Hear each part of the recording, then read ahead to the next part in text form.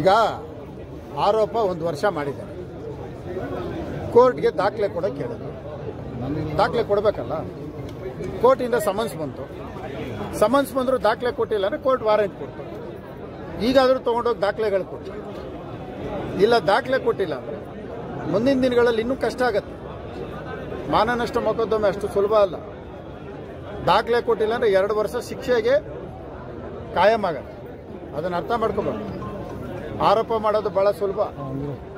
ಆರೋಪ ಮಾಡಿದ್ಮೇಲೆ ಜೀರ್ಣ ಮಾಡ್ಕೊಳ್ಳೋಕೆ ಶಕ್ತಿ ಇರಬೇಕು. ನಲವತ್ತು ಪರ್ಸೆಂಟ್ ಯಾರು ಕೇಳಿದ್ದಾರೆ? ರಾಜರಾಜೇಶ್ವರಿ ವಿಧಾನಸಭಾ ಕ್ಷೇತ್ರದಲ್ಲಿ ಹತ್ತು ಸಾವಿರ ಕೋಟಿ ಎಲ್ಲಿ ಖರ್ಚಾಗಿದೆ? ಅದನ್ನು ತೋರಿಸ್ಬೇಕು. ತೋರಿಸೋವರೆಗೂ ಬಿಡೋ ಪ್ರಶ್ನೆನೇ ಇಲ್ಲ.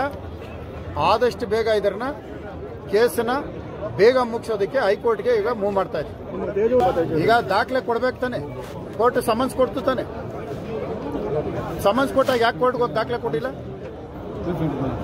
ಯಾಕೆ ಕೊಡ್ತಾ ಇಲ್ಲ? ಇದಿಷ್ಟಕ್ಕೆ ನಿಲ್ಲಲ್ಲ ಇನ್ನು ಮುಂದಿಕ್ಕಿದೆ. ದಾಖಲೆ ಕೊಟ್ಟಿಲ್ಲ ಅಂದ್ರೆ ಖಂಡಿತವಾಗ್ಲೂ ಹೇಳ್ತಾ ಇದ್ದೀನಿ, ಶಿಕ್ಷೆಯಿಂದ ತಪ್ಪಿಸ್ಕೊಳ್ಳೋಕೆ ಸಾಧ್ಯನೇ ಇಲ್ಲ.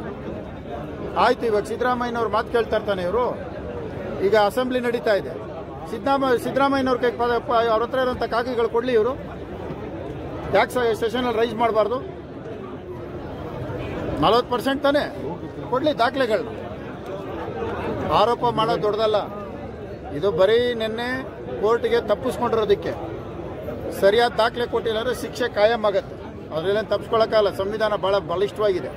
ಕಾನೂನು ಚೌಕಟ್ಟಿನಲ್ಲಿ ಏನು ಕ್ರಮ ಕೈಗೊಳ್ಳಬೇಕು ಎಲ್ಲ ಕ್ರಮ ಕ್ರಮ ಕೈಗೊಳ್ತೀವಿ ಇಂಥ ಹಲವಾರು ವಿಡಿಯೋಸ್ಗಳನ್ನು ನೋಡಬೇಕಾದ್ರೆ ಐಡಿಯಾ ನ್ಯೂಸನ್ನು ಸಬ್ಸ್ಕ್ರೈಬ್ ಮಾಡಿ, ಶೇರ್ ಮಾಡಿ, ಲೈಕ್ ಮಾಡಿ.